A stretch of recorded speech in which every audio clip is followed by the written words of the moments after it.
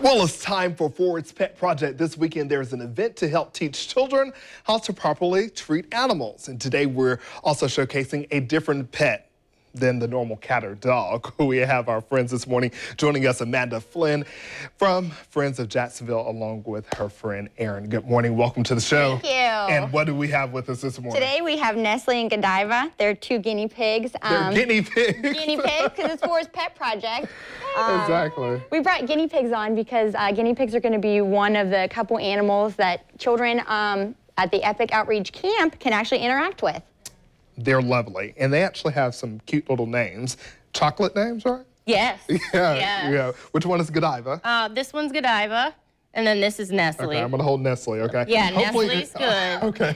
Hopefully, to get close enough to my microphone so you can hear her. okay. So, what is going on this week that kids can get involved in? So, um, starting this Monday, uh, it's Monday to Friday at Southside Baptist Church is going to be Epic Camp, which is um, from 9 a.m. to 1 p.m. daily for kids 7 to 12.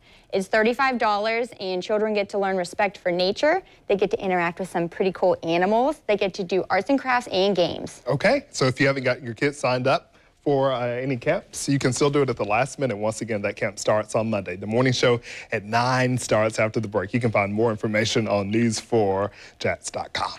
We'll be back.